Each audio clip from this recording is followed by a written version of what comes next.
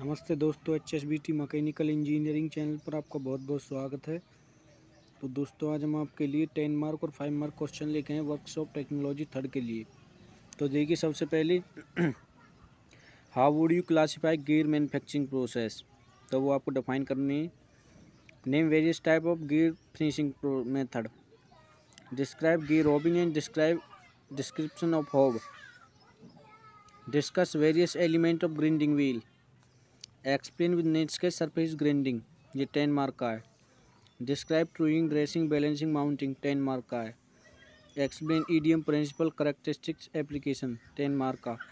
Explain laser beam machining, ten mark. Explain extrusion and its type, forging and its type.